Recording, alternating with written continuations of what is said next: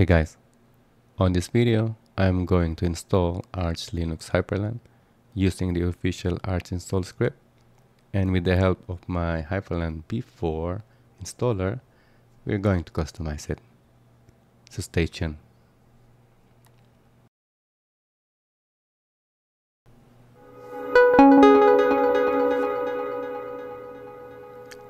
The first thing is of course you need to set up a Arch Linux base using the Arch install script or you can also install the Hyprland v4 on existing Arch uh, with Hyprland or even with my previous dots or with a Arch Linux base.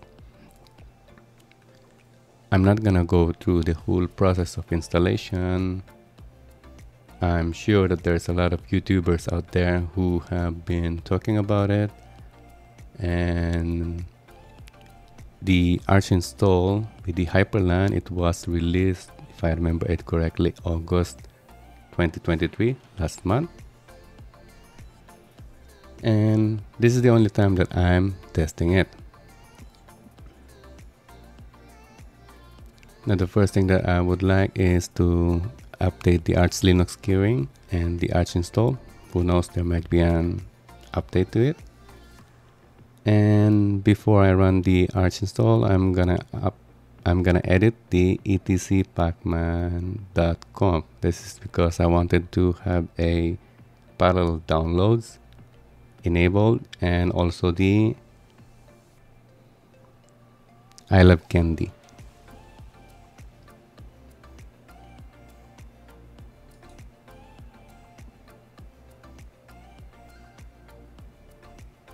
And then just type in arch install.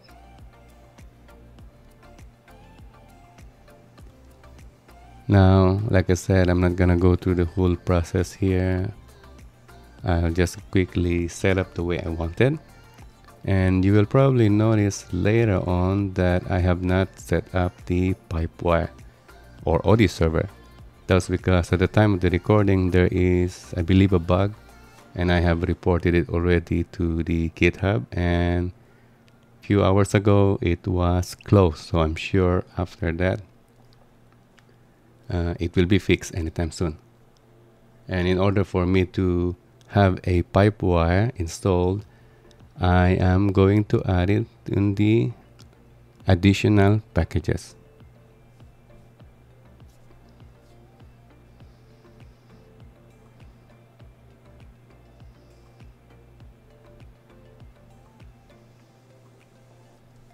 and with the of additional packages I will be adding the Pipewire leave 32 uh, Pipewire WirePlumber Pipewire alsa Pipewire audio and where's my ship Pipewire pulse Pipewire alsa and SOF firmware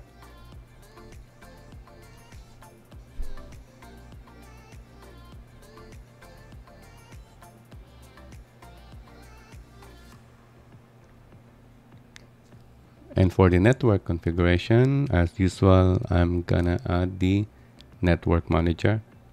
That's because it's just a lot easier.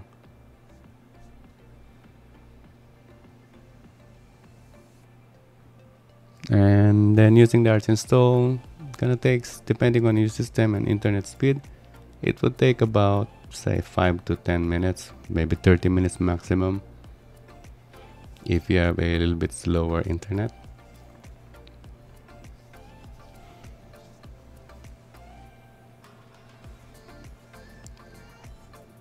and after that reboot and put into the Arch Linux uh, Hyprland and as you can see in here I'm just customizing the way I wanted so it will be a lot easier for me to install because and the first thing is to grab my Hyprland v4 script.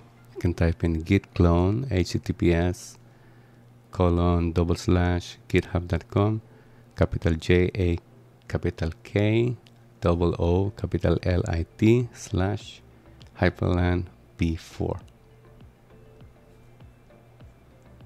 Then change the directory to Hyprland v4. then we need to create or make the install dash v4.sh as executable and then run the install script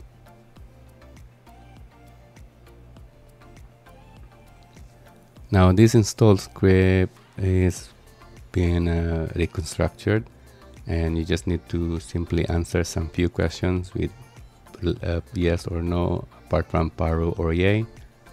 But this is not a offline installer. At some point you will be asked later on for confirmation which one for example you which theme that you wanted to install or um, the SDDM if you want the to install the SDDM theme because it needed for you to manually intervene as it cannot do a no confirm command.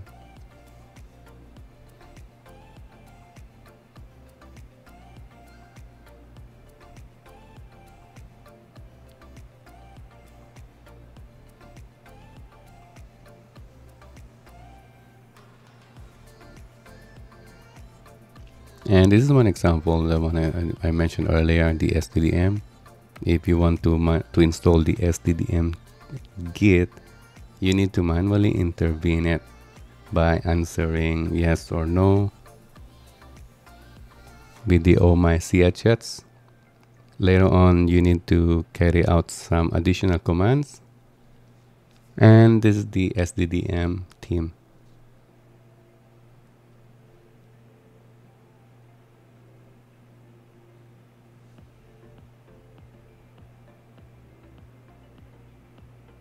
So just setting up the all my ZSH. If you go to my Hyprland v4 Readme, if you opt for the all my ZSH, it's still initially it's still not in as default shell.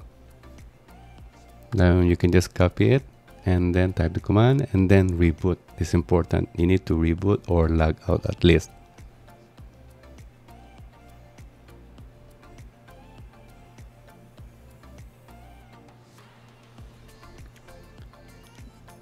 And then I recommend going to the configuration using the super E. You can launch the keybinds you can change the monitors you can add in environment variable and so on and so forth.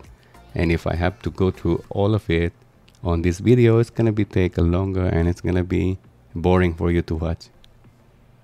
So that I recommend that you go through the keybinds. There's a lot of hidden um, tips in there like changing the layout or changing the wallpaper using the SWWW. You can also, as you have seen earlier, I launched the help file that I've created. That's super H and then changing the layout, super alt W. And there's also the super E, uh, super alt E for the list of emoticons.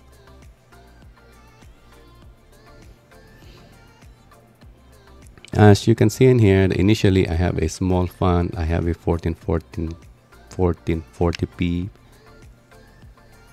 uh, display. Now using the NW look as a to customize the way I want like changing the font size.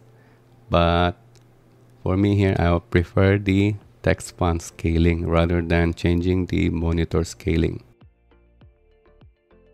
Anyway, I hope you liked the video. If there's anything that I could help you with, leave a comment. If you have any questions or doubts, please leave a comment as well. If you like the video, please like.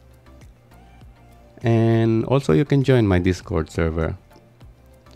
Anyway, thank you very much for watching and thank you much. Thank you for subscribing. All the best. Bye now.